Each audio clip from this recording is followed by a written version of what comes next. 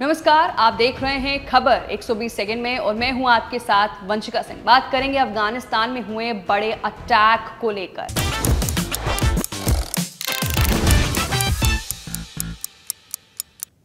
अफ़गानिस्तान की राजधानी काबुल में सोमवार को आतंकी हमला हुआ। यहाँ एक आत्मघाती हमलावर ने खुद को उड़ा लिया।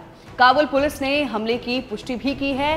काबुल पुलिस ने बताया, एक आत्मघाती हमलावर ने सोमवार को अफ़गानिस्तान की राजधानी में विस्फोट कर दिया है। इसमें छह लोगों की मौत हुई है, जबकि तेरह लोग जख्मी हुए हैं। काबुल पुलिस के प्रवक्ता खालिद जारदान ने सोशल मीडिया प्लेटफॉर्म एक्स पर यह भी लिखा है कि आज दोपहर एक व्यक्ति ने अपने शरीर में विस्फोटक बांधकर विस्फोट कर दिया। दुर्भाग्य से एक महिला समेत छह नागरिक मारे गए हैं और तेरह लोग अन्य घायल हो गए हैं। हालाँकि अभी किसी संगठन ने इस हमले की ज़िम्मेदारी नहीं ली है।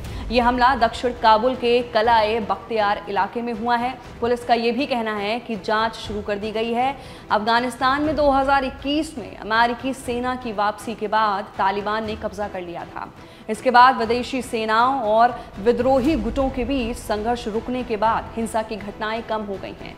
हालाँकि प्रतिबंधित आतंकवादी इस्लामिक स्टेट के ही संगठन आईएस खुरासान अफ़गानिस्तान में एक्टिव है और नियमित तौर पर हमले कर नागरिकों, विदेशियों और तालिबान अधिकारियों को निशाना बनाता रहा है। फ़िलहाल के लिए बहुत ही बड़ी खबर है कि अफ़गानिस्तान में तालिबानी सरकार है और अब वहाँ के काबुल में बहुत बड़ा विस्फोट हुआ है, जिसमें छह की मौत हो गई है और तेरह घायल हो गए आपका क्या कहना है? नीचे दिए गए कमेंट सेक्शन में अपनी राय भी ज़रूर दें। मैं थी आपके साथ वंशिका सिंह और आप देख रहे हैं खबर 120 सेकंड में।